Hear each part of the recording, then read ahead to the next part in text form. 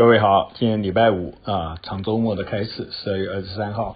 我今天早上啊，因为大陆有一位老祖呃老奶奶嘛，劝告她的村里，呃，就是因为要嫁给因为爱情呢，还是因为金钱？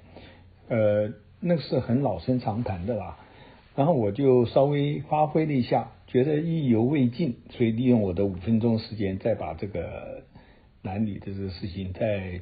把我的观点聊一下，怎么讲呢？因为我在那边讲啊，呃，你假如爱谁啊，你你因此就找到那个爱的人，你会嫁给他或者娶了他，那是非常幸福的。当然呢，对方因为他可能喜欢你，可能不喜欢你，所以就是一个负担，因为呃他的感受不一样嘛。那我刚刚讲的最好的就是两个人都有这种愉悦的。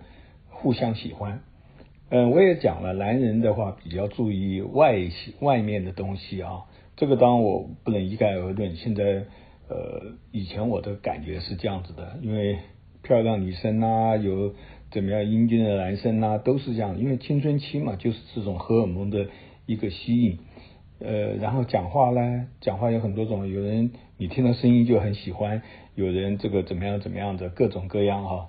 呃，甚至以前我们讲男女之间，有人连那个味道都有很大的关系。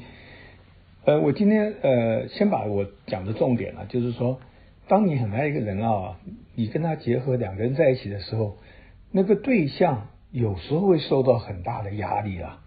因为当你太爱一个人，你太呵护一个人，每天就是要管他，或者是呃把你认为怎么样子的呃。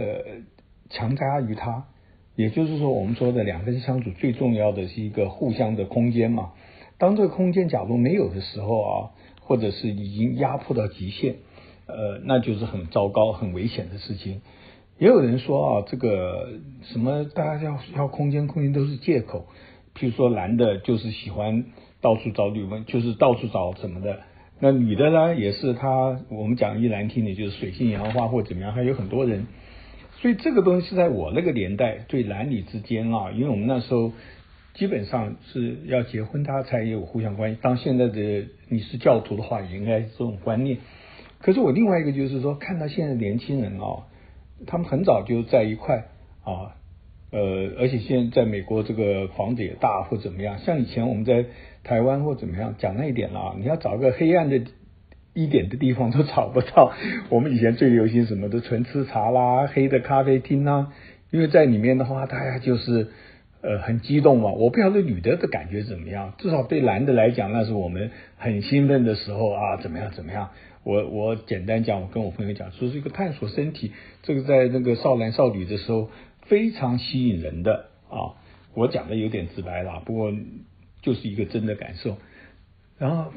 那时候呢，假如有人，我们叫上一垒、二垒、三垒啊什么的，打了个全垒打，那时候又不小心人家怀孕的话，什么样子的，那基本上是非得奉子成婚呐，怎么的？因为那个时代不允许这个。可你现在看到现在年轻人啊，因为现在的避孕方法也多，你看我们的父母时代，每一个家都是四个、五个以上哈。后来呢，因为我们是一男一女，呃，还有呢各种的避孕方法多了，以前。假如要避孕，要带一个很很很很麻烦的啦，所以这个事情就变了啊。然后再看我们的下一代啊什么，你看到这些人，基本上他们就是很快在一起了干什么的。那我们当时不好意思问他们要做到什么事情啊，怎么样子的？那想象都想当然了嘛，对不对？我刚刚讲说地方又多，以前不像我们年轻的时候找一个黑的地方，你要到公园啊，到什么地方啊？因为总是很，可是台湾当然也知道，我以前后来我有一些很厉害的同朋友啊，常常给我讲那些秘辛啊，呃，各个的地方都都有这种什么的痕迹啊什么的。